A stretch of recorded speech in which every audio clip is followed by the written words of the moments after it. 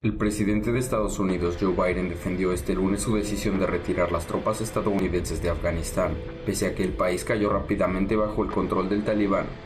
Biden admitió que los eventos que permitieron a los talibanes derrocar al gobierno afgano y dominar el país ocurrieron más rápido de lo anticipado, y culpó a los líderes políticos afganos del colapso.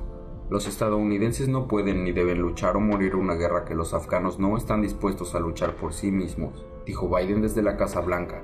El domingo los talibanes declararon la victoria después de que el presidente afgano, Ashraf Ghani, huyera del país y su gobierno colapsara.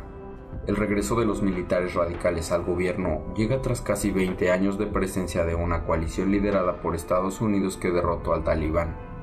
Biden enfrenta una intensa reacción política por su decisión de abril de ordenar que todas las tropas estadounidenses salgan de Afganistán antes del 11 de septiembre, fecha del vigésimo aniversario de los ataques que desencadenaron la invasión estadounidense. El presidente dijo que la misión de 20 años no estuvo nunca destinada a construir una nación o crear una democracia central unificada, sino que estaba diseñada para prevenir un ataque terrorista en suelo estadounidense. Estoy profundamente entristecido por los hechos que enfrentamos ahora, pero no lamento mi decisión de poner fin a la guerra en Estados Unidos, en Afganistán.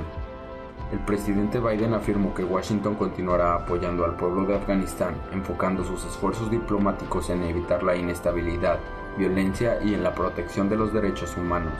He sido claro, los derechos humanos deben ser el centro de nuestra política exterior, pero la forma de hacerlo no es a través de despliegues militares interminables. Según dijo dentro del plan de acción inmediato, 6.000 soldados estadounidenses serán desplegados para facilitar la salida del personal civil estadounidense y los aliados de Afganistán.